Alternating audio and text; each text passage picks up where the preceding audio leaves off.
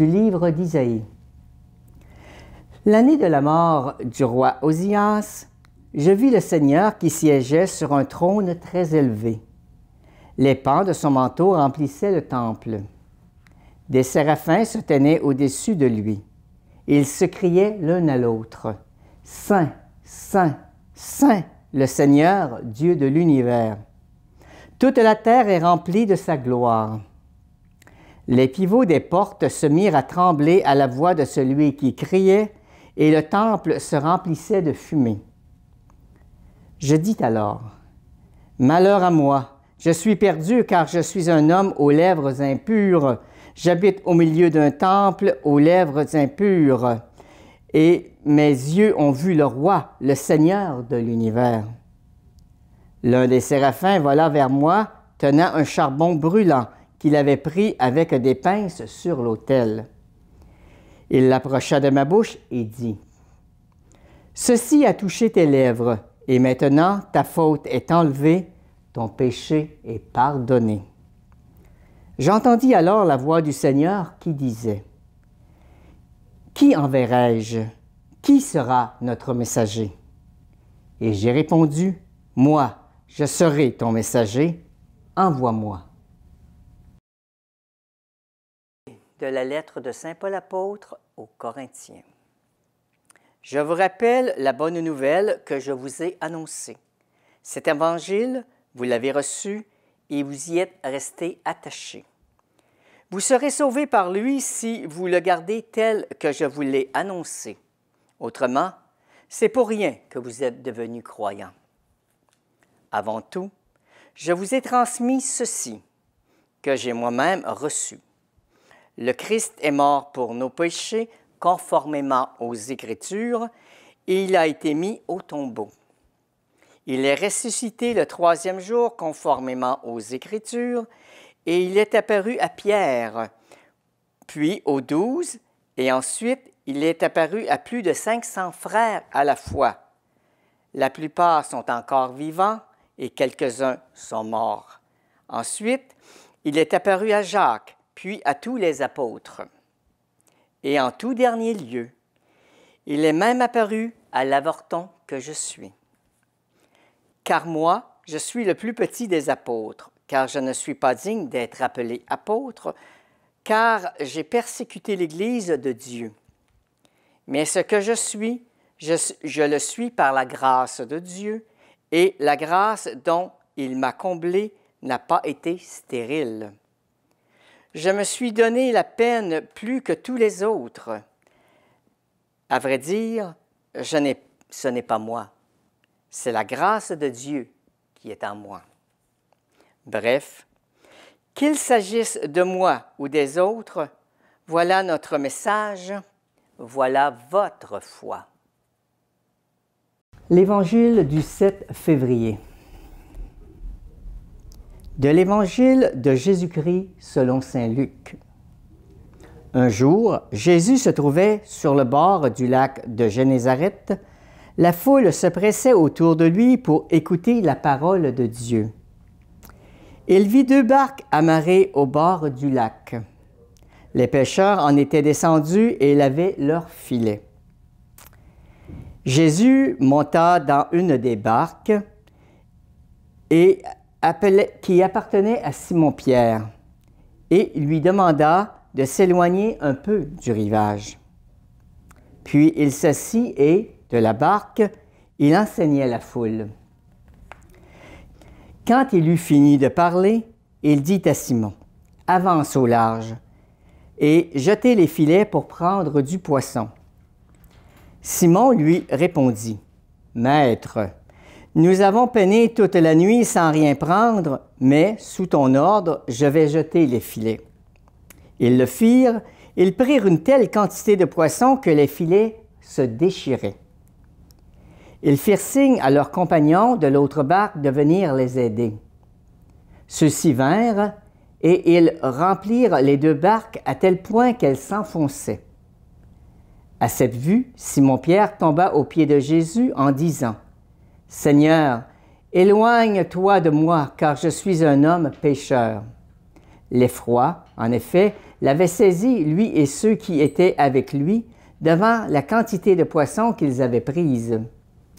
Et de même, Jacques et Jean, fils de Zébédée, ainsi que ses compagnons. Jésus dit à Simon, Sois sans crainte, désormais ce seront des hommes que tu prendras. Alors ils ramenèrent les barques au rivage et, laissant tout, ils le suivirent.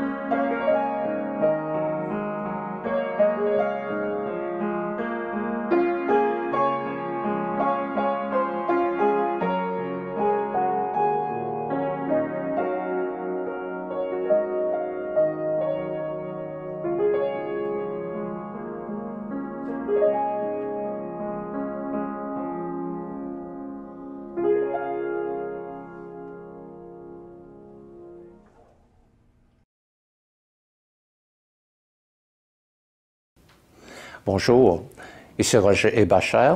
Je vous parle d'un studio de l'Université Saint-Paul à Ottawa. Euh, je suis très heureux de saluer les gens d'Amos et des environs et toutes les personnes qui, à travers euh, l'Internet ou d'autres façons, entendent cette euh, émission, ce message. Alors, nous venons d'entendre la lecture de trois textes qui sont tirés du cinquième dimanche du temps ordinaire dans la liturgie de l'Église catholique. On appelle ça le temps ordinaire parce que, justement, ça rejoint notre vie quotidienne. Hein. Et aujourd'hui, euh, ces textes nous parlent euh, d'une chose qui nous concerne tous et toutes. Hein. Notre vocation, l'appel profond que Dieu nous a fait entendre euh, ou qu'il veut faire entendre dans notre cœur. Hein. Et c'est bon d'entendre ces textes, de les relire en ce moment, alors que nous vivons une année sainte de la miséricorde, hein, et chacun de ces appels, chacune de ces vocations, c'est une œuvre de la miséricorde, de la bonté, de la proximité de Dieu qui veut ainsi avoir besoin de nous, les humains, pour euh, transmettre son message de miséricorde, de bonté et d'amour à notre monde. C'est d'autant plus important, ces textes que nous commençons mercredi prochain, le carême, hein, qui est un temps de découverte de plus en plus intime et personnel et communautaire de la miséricorde de Dieu. Alors, euh, nous avons comme première lecture un texte du livre d'Isaïe. Isaïe, c'est un prophète très important dans la Bible. Hein. Il a vécu vers l'an 1650, euh, durant ces années-là. Et il commence son texte en nous disant l'année de la mort du roi Osias.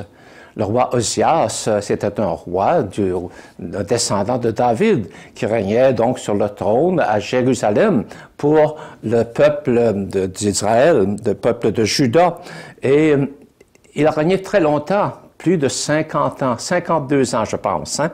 Et il vivait dans un temps de prospérité, mais en même temps dans un temps où se dessinaient les menaces contre ce petit peuple, parce que les Assyriens construisaient un énorme empire qui commençait à menacer Israël. Hein. Alors, c'est dans ce contexte-là que Isaïe est appelé par Dieu à, à devenir prophète. Qui était Isaïe? Isaïe, c'était un laïc, probablement assez à l'aise, hein? mais voilà qu'on le retrouve dans le temple, l'année de la mort du roi Osias. Ça veut presque dire que le trône est, vide. Hein? Et c'est à ce moment-là que Dieu se présente à lui comme siégeant sur un trône très élevé. Le véritable roi d'Israël et du monde, c'est Dieu. Hein? Et Dieu qui se manifeste dans toute sa sainteté, dans toute sa transcendance. Lui, le saint, lui qui a tout créé par son Fils Jésus. Donc, l'année de, la mort du roi, apparaît le Seigneur qui siège sur un trône très élevé. Et autour de lui, il y a ce qu'on appelle des séraphins. Les séraphins, ce sont des anges, des anges très importants. On appelle des archanges. Hein? Et les séraphins, ce sont ceux qui, d'un côté, protègent en quelque sorte la gloire, la transcendance, la sainteté de Dieu, euh, et en même temps qui viennent nous purifier. C'est leur action. Hein, de purification, comme on le verra dans quelques minutes. Hein. Donc, les séraphins se tenaient au-dessus de lui et ils criaient l'un à l'autre. Hein. Il y avait comme un, concert qui était donné là. Hein. Bon, Saint, Saint, Saint, le Seigneur, Dieu de l'univers.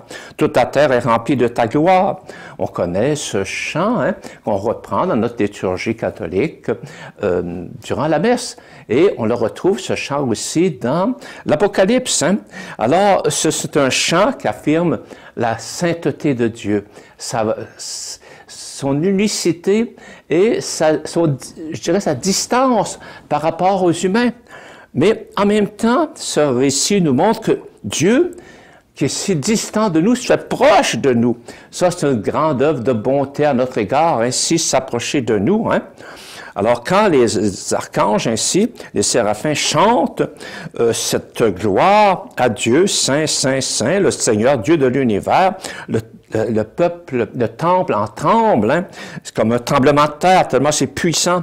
Et Isaïe, qui est là, est bouleversé profondément. Hein. Malheur à moi, je suis perdu, je suis un homme aux lèvres impures, j'habite au milieu d'un peuple aux, aux lèvres impures. Et voilà le roi de l'univers. Euh, Isaïe prend conscience de son indignité. Y a-t-il fossé entre Dieu, le transcendant, et lui, le pauvre humain, que ça le bouleverse profondément, ça lui fait peur, hein? Mais alors, qu'est-ce qui se passe? Hein? Voilà qu'un des séraphins vole vers lui, il prend un charbon brûlant sur l'autel, hein? Euh, puis il l'approche de sa bouche. Hein? Quel beau geste de purification, de présence. À travers ce charbon brûlant qui vient purifier ses lèvres, c'est Dieu qui lui dit, n'aie pas peur, je suis proche de toi, je te transforme intérieurement. Et alors, voilà que Isaïe a entendu cette voix. Qui enverrai-je? Qui sera mon messager? Et habituellement, les prophètes, dans leur euh, récit de vocation, se disent indignes d'être messagers de Dieu. Ils ont peur de cette fonction. Jérémie, par exemple, disait, je suis trop jeune, puis je sais pas parler, euh, je pourrais pas. Isaïe, c'est pas ça. Avec audace, il dit, moi, je serai ton messager, envoie-moi. Quelle belle réponse, hein? De, Isaïe qui est disponible, qui consent à devenir le porte-parole, la bouche de Dieu pour son peuple. Et ce sera une tâche très accaparante pendant de très nombreuses années. Une tâche très difficile, hein, parce qu'il vient juste de dire, je vis au milieu d'un peuple aux lèvres impures. Donc, un peuple qui est euh, souvent idolâtre, qui n'écoute pas Dieu, qui ne suit pas ses commandements. Et il y aura une très dure mission, mais il y consent de tout son être, parce qu'il sait que Dieu sera avec lui. Voilà, ça peut nous éclairer beaucoup. Hein. Euh, toi, moi, nous sommes aussi par notre existence, par notre baptême, par notre foi, appelés à témoigner de ce Dieu qui est bon et qui nous aime. Hein. Alors, est-ce que j'ose, moi aussi, dire, me voici, je serai ton messager? Dans l'Évangile, on a un récit qui ressemble à cela jusqu'à un certain point, mais cette fois, il s'agit de Saint Pierre. Hein? Il n'est pas, dans le temple comme euh, Isaïe. Il est sur le bord de la mer. Hein? Un jour, Jésus se trouvait sur le bord du lac de Génézareth, hein, bord de, ce grand lac qui est en Galilée. Et là, une grande foule se pressait autour de lui pour entendre la parole, parce que sa parole était la parole qui était vivante, qui était dynamique, qui, interpellait, beaucoup les gens et qui leur donnait un nouveau goût de vivre parce que cette parole, sans cesse, de mille façons, proclamait que Dieu est bonté, que Dieu est miséricorde, que Dieu est proximité. Bien sûr, il est le très saint, très haut, comme chantent les anges, mais il est en même temps par sa par une décision de sa miséricorde tout proche de nous. Et Jésus était au milieu du peuple à ce moment-là, comme il est encore pour nous, le visage de la miséricorde de Dieu dans notre histoire. Et voilà que les gens donc courent vers lui et euh, Jésus risque d'être écrasé. Alors, il demande à une des barques qui est là, là du, bord du bord du rivage, hein, il demande s'il peut embarquer. Hein, et cette barque appartient à Simon-Pierre. Hein. Simon-Pierre, il devait être fier. Hein? Hey, ce prophète célèbre qui emprunte ma barque à moi. Hein? Il a dû être très fier, Simon. Là, puis il a dû se, gourmer un peu, hein? se remonter un peu le torse, puis dire c'est moi qui ai choisi. Là, hein? Bon, un petit peu d'orgueil, hein, n'est-ce pas? Bon, mais voilà que Jésus enseigne à partir de sa barque. Mais une fois que Jésus a enseigné, il dit à Simon-Pierre une parole qui, là, euh, lui fait pas, fait pas son affaire. Hein? Il dit à Simon, avance au large, jetez des filets pour prendre du poisson. Euh, Pierre, il a passé toute la nuit à pêcher, il n'a rien pris. Lui, il connaît ça. Il sait bien que dans le jour, ça n'a pas de bon sens de retourner à pêche. Hein? Et euh, bon, euh, ce jeune euh, maître hein, qui enseigne, qui est très populaire, bon, qu'est-ce qu'il sait de, la pêche, hein? Alors, Simon-Pierre aurait pu dire, ben Seigneur, ça n'a pas de bon sens, là. C'est à peu près ce qu'il lui dit, hein? Maître, nous avons peiné toute la vie, toute la nuit, sans rien prendre. Au fond, il lui dit, ben, qu'est-ce que ça, donnerait de retourner à la pêche, hein? Il ajoute, mais sur ton ordre, sur ta parole, je vais aller jeter des filets. C'est très beau, hein? Ce geste de confiance, grande simplicité, grande humilité. Il fait confiance à la parole de Jésus. Même si ça ne correspond pas que ce que lui connaît comme pêcheur, parce que c'est lui qui est spécialiste de la pêche. Mais il fait confiance et il y va. Ils le firent et ils prirent une telle quantité de poissons que leur filet se déchirait. Bon, alors, devant cet événement, hein, Simon-Pierre est totalement bouleversé. Hein. Il tombe aux pieds de Jésus en disant, Seigneur, éloigne-toi de moi, car je suis un homme pécheur. Vous voyez, euh, comme Isaïe, hein, devant la révélation, la vision de ce Dieu euh, très, très saint sur son trône, prenait une distance, reculait, sentait un fossé entre Dieu et lui. Ainsi, euh, Simon-Pierre, éloigne-toi de moi, je suis un homme pécheur. Hein? Mais Jésus ne s'éloigne pas de lui. Au contraire, Jésus se fait encore plus proche de lui. Hein? On dit Simon parle ainsi parce que l'effroi l'avait saisi devant la quantité des poissons qu'ils avaient prises. Pierre que ce pas juste normal tout ça. Il y avait eu une action spéciale de Dieu en leur faveur. Hein? Alors, euh, qu'est-ce qui se passe à ce moment-là? Ils se sont appelés vers Jésus. Ils ramenèrent les barques au rivage et laissant tout, ils le suivirent. Laissant tout. Ils décident de risquer leur présent et leur avenir sur la parole de Jésus, sur le geste qu'ils venaient de poser. Ils se sentent donc appelés à faire confiance à Jésus, à le suivre et ainsi à devenir à son tour hein, celui qui enseigne, qui témoigne jusque dans la mort, jusqu'au martyr, hein, que Dieu nous aime, que Dieu est bonté, que Dieu est miséricorde. Il ne faut pas avoir peur de lui, que Dieu est proche de nous, qu'il soit proche de nous en Jésus par sa parole et de mille autres façons.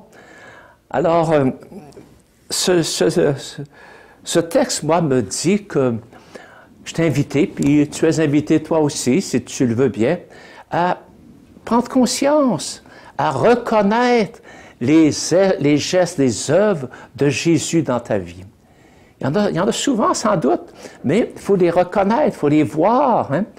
Euh, c'est pas toujours des gestes aussi éclatants qu'une pêche miraculeuse, mais c'est des gestes qui transforment ma vie, qui me donnent de la joie, qui me donnent de la paix et surtout qui me rend capable.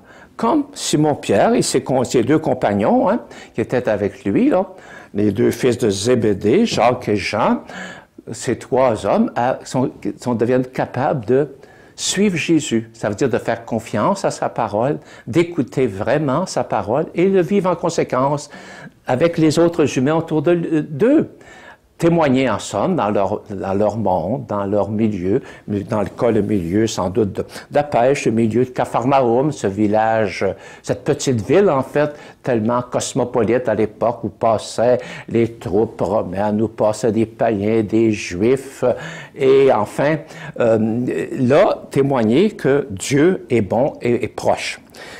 Dans la deuxième lecture, c'est semblable en un sens, parce que là, cette fois, c'est Paul, hein, Saint Paul, hein. Saint Paul qui témoigne que lui aussi, il a été appelé hein, d'une façon bouleversante.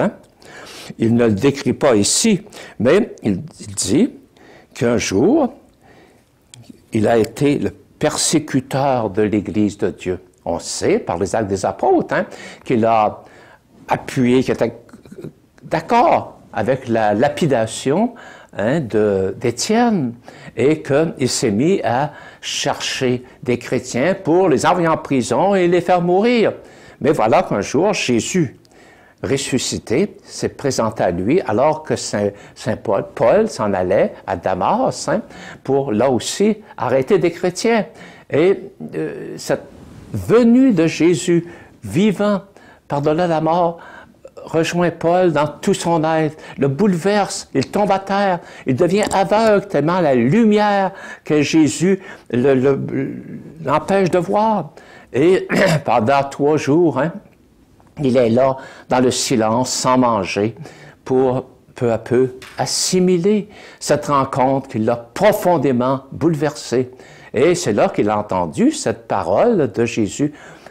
Sol, Sol, pourquoi me persécutes-tu? voyez, il persécutait les, chrétiens qu'il méprisait et il comprend à ce moment-là que ces chrétiens qu'il méprisait, c'est Jésus, ils sont des membres de Jésus. Hein? Et il comprend aussi en même temps que Jésus n'est pas mort sur la croix puis mis au tombeau tout simplement, qu'il est vraiment vainqueur du mal, de la mort, qu'il est ressuscité. Et c'est ce qu'il proclame ici. Hein? Il dit, je vous rappelle la bonne nouvelle. C'est ça la bonne nouvelle. L'évangile hein, que vous avez reçu, cet évangile, qu'est-ce qu'il nous dit? Le Christ est mort pour nos péchés conformément à l'Écriture. Donc, selon le plan, le, dessein de bonté et de miséricorde de Dieu, Jésus est mort sur la croix pour nous, afin de nous libérer de nos péchés, de nous purifier, de nous rendre saints et saintes, comme lui, Jésus, est saint. Il a été mis au tombeau et il est ressuscité le troisième jour, conformément aux Écritures. Il est apparu à Pierre, puis aux douze, il est apparu à 500 frères à la fois, à Jacques, et Paul ajoute, et en tout dernier lieu, il est même apparu à moi qui suis l'avorton. Ça veut dire le dernier, le plus petit, celui qui est comme avorté, hein, tellement il est indigne. Car, il, il, écrit ailleurs dans sa lettre à Timothée, il m'a été fait miséricorde. Paul reconnaît nomme ce que Dieu a accompli en lui, ce que Jésus est venu faire en lui, le libérer de sa haine, de sa, son désir de tuer les autres, d'abaisser les autres.